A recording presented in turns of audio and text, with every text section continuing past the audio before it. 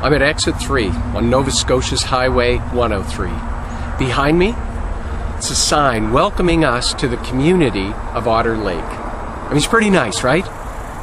Well, would you believe that if you drove down that road, you wouldn't find a single home? Not one. It's because no one lives there.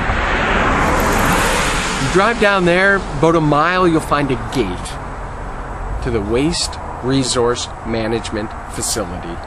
Yeah. Like when we were kids, we'd have called it the dump.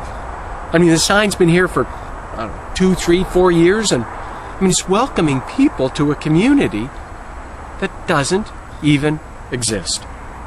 I don't think anyone's even noticed it. You know, greetings? Greetings are so important. But too often, you know, we neglect their importance.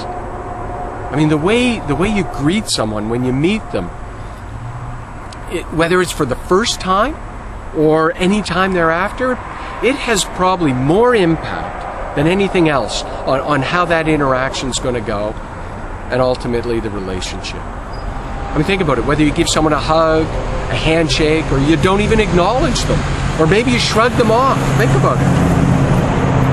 So, for the next person, the next person you meet, don't be like this mindless sign Otter Lake, okay?